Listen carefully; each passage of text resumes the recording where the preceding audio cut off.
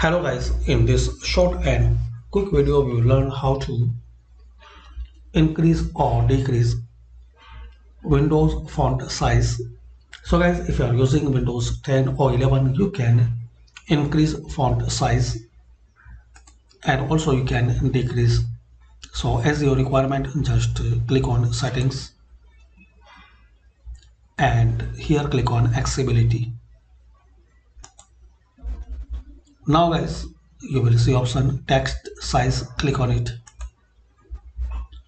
And here is the option the size of these words will change as you adjust the slider changes you make here will apply to most of the text on your device. You can make bigger and also you can decrease the size So select and set as your choice and requirement.